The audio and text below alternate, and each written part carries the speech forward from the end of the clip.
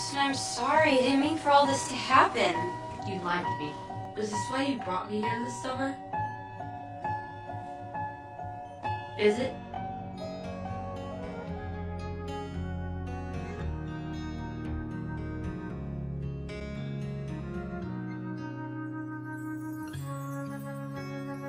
I remember the month, remember the day, remember you took my breath